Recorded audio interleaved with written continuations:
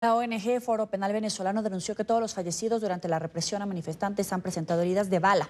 Vamos al lugar de la noticia con nuestra periodista en Caracas, Daniela Zambrano, con toda la información. Adelante, Daniela. Hola, buenas tardes. El Foro Penal Venezolano destacó que las mayorías de las detenciones se han registrado en el Distrito Capital, en el Estado Aragua y en el Estado Zulia. 850 personas desde el pasado 21 de enero y no dudan que esta cifra se sigue incrementando, pues siguen llegando denuncias de todos los estados del país. Lamentablemente también reportaron 35 personas asesinadas en el contexto de manifestaciones. Dalia Quintero vio a su hijo por última vez el pasado 23 de enero. Agradece saber que está vivo, pero lamenta que sea tras las rejas. No es terrorista, asegura es inocente. Tiene 20 años de edad. Se siente mucha impotencia, se siente mucha ausencia, se siente mm, una gana de que esto termine. Isolina Mendoza vivió algo similar, pero en Cotiza, una barrera popular que salió en defensa de militares que se alzaron contra Maduro el pasado 21 de enero. Desde entonces, su hijo y su sobrino fueron encarcelados. Es desesperante, no he podido verlo. La verdad que es muy, muy angustiante no saber eh, en qué condiciones está tu familia. Así, ya son 850 personas detenidas en el contexto de manifestaciones antigubernamentales, especialmente en zonas populares, 77 de ellos menores de edad. No solo estoy hablando de personas de 17, 16 años, incluso de 12 años entre 12 y 14 años, niñas. Por ejemplo, en el estado Amazonas se detuvo una muchacha indígena de 14 años de edad. En el estado Yaracuy, 11 eh, niños fueron detenidos, también una niña, este, y quedaron privadas de libertad por orden de un juez sin justificación alguna. Detenciones arbitrarias en las que además denuncian el uso de la fuerza ha sido desproporcionado. Hemos visto eh, dentro de las audiencias inclusive personas con eh, ensangrentadas, con, ah, digamos, con no solo perdigones, sino unas grandes lesiones, por ejemplo en la espalda. Ah, hay, casos incluso eh, de personas que les han caminado y saltado encima ya detenidos, acostados. La cifra de fallecidos también va en aumento, 35 personas asesinadas, según la ONG Provea. Estas 35 personas ocurren en 10 estados de Venezuela. Los tres primeros se los voy a decir. En primer lugar está el Distrito Capital, con 10 personas asesinadas en el contexto de manifestaciones. Seguidamente el estado Bolívar, con 8 personas. Y finalmente, en tercer lugar, el estado Portuguesa, con eh, cuatro víctimas de violaciones al derecho a la vida. Para esta organización, el grupo élite policial FAES tiene la responsabilidad en la mayoría de los asesinatos. El grupo FAES, que tiene un amplio prontuario en materia de violaciones a los derechos humanos y de ejecuciones en distintos lugares del país, está usando armas de guerra contra los manifestantes. En segundo lugar, se ha vuelto a repetir el patrón que ocurrió en el año 2017, que es colectivos armados ayudando a la represión contra los manifestantes. Algunas de las personas asesinadas fueron asesinadas presuntamente por grupos colectivos armados. Denuncian además que a los familiares se les ha obligado a mentir para poder recuperar los cuerpos de sus seres queridos. Un nuevo mecanismo de control es ahora el dolor. Son traficantes del dolor y si las personas quieren darle una cristiana sepultura, quieren recibir eh, su cuerpo a corto plazo en la morgue, tienen que aceptar que se falsee cuáles fueron las causas del fallecimiento y cuál fue el organismo responsable. Según la ONG Foro Penal Venezolano, los cargos imputados a los detenidos han sido instigación pública, desacato a la autoridad, agavillamiento y, en el peor de los casos, terrorismo, ascendiendo a 976 la cifra de presos políticos.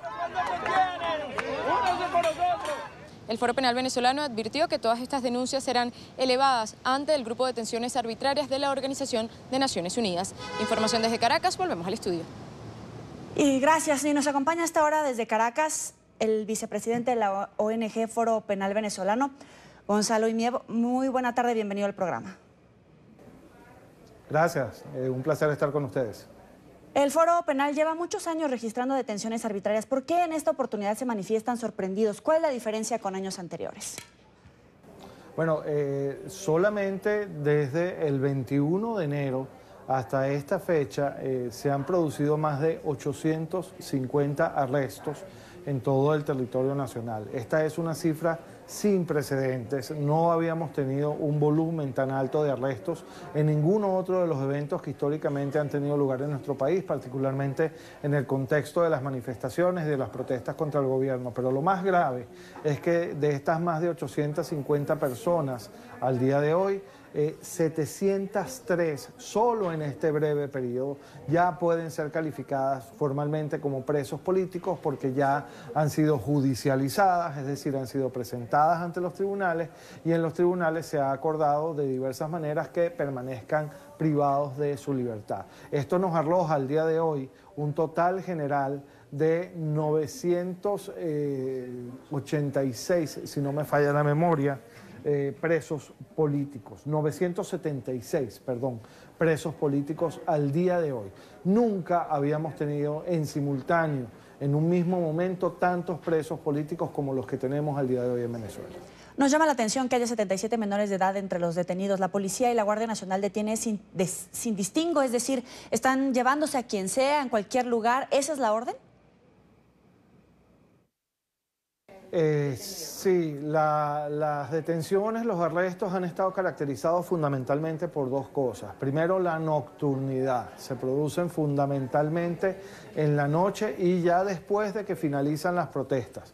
No quiere esto decir que no se hayan materializado arrestos en protestas, sí ha pasado así, pero en términos generales el grueso de los arrestos ha tenido lugar después de la protesta de noche. Y se ha seleccionado específicamente a las personas sobre la base de la denuncia que se recibe de cuerpos irregulares, de consejos comunales, de patriotas cooperantes y es desde allí que se procede a su arresto particularmente y muy especialmente en las zonas más humildes, no solo de Caracas, sino de todo el país.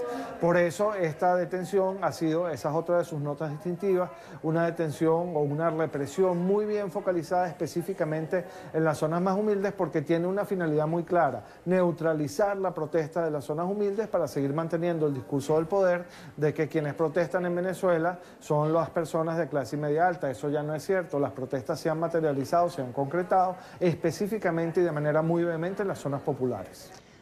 Ahora, con respecto al trato que han recibido los detenidos, recuerdo que hace días denunciaron tratos crueles e inhumanos. ¿Nos puede describir qué les han hecho? Bueno, en la casi totalidad de los casos eh, hemos reflejado eh, exceso y abuso en el uso de la fuerza al momento del arresto, es decir, personas que ya están sometidas, que ya están neutralizadas, incluso así se les sigue maltratando, se les sigue golpeando.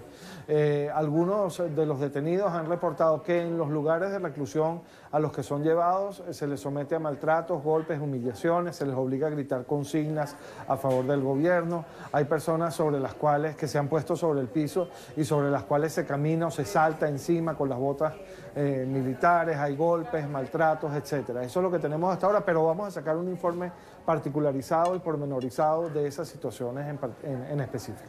Hemos escuchado denuncias sobre la actuación de la Guardia Nacional Bolivariana, pero en la rueda de prensa que reportaba nuestra periodista en Caracas, ustedes señalaron a la FAES, al FAES como responsable de las violaciones a derechos humanos. ¿Qué es el FAES? Eh, ¿Qué nos puede decir de ese grupo? Bueno, eh, las organizaciones de tutela y de protección de los derechos humanos tenemos ya meses eh, denunciando que eh, la FAES, que es la Fuerza de Acciones Especiales de la Policía Nacional Bolivariana, que es un cuerpo élite eh, que además sirve más que todo a propósitos tácticos y de inteligencia, esté siendo utilizada como mecanismo, como herramienta para la neutralización de la disidencia y de la oposición. Esto viene eh, ocurriendo desde hace meses. Sin embargo, en este contexto reciente ha sido el cuerpo que predominantemente ha intervenido en la represión, eh, no solo en la represión de las manifestaciones que se dan en las zonas más humildes y populares, sino en todos estos arrestos y en estas eh, irrupciones violentas que se están produciendo en horas de la noche y de la madrugada en las viviendas de los más humildes para llevarse a la gente. Esto es muy grave porque este es un cuerpo que actúa primero con armas de guerra, es un cuerpo táctico y además no es un cuerpo entrenado en funciones de control de manifestaciones públicas, es un cuerpo entrenado en funciones más bien de neutralización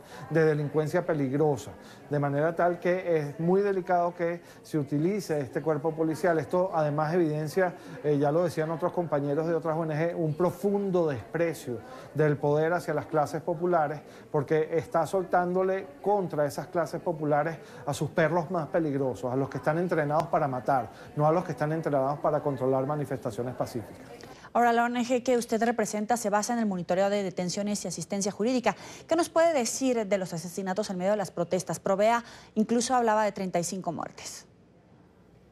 Bueno, nuestras cifras coinciden perfectamente con las que está levantando Provea y las que está levantando el Observatorio Venezolano de la Conflictividad Social.